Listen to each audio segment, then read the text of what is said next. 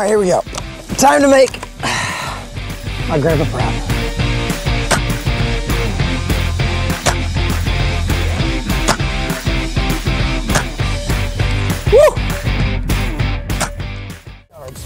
He's wearing a green shirt and a black helmet, and he's got a nasty little mustache.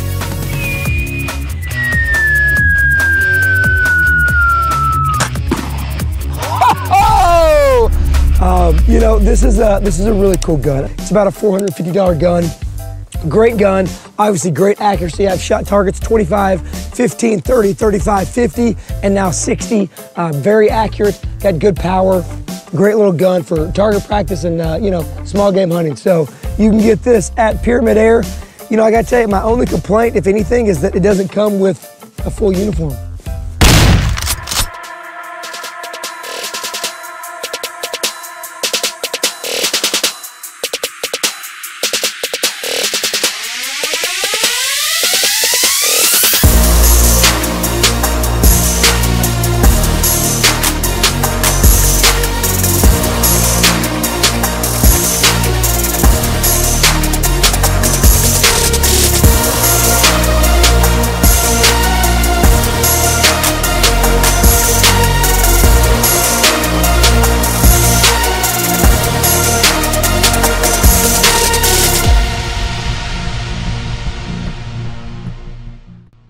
Paper, the RWS 48 is rated for about 900 feet per second, which is certainly achievable with lighter lead pellets.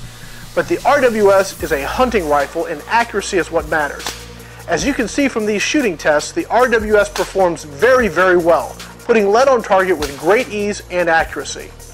Our 10 yard test measured a mere .288 center to center.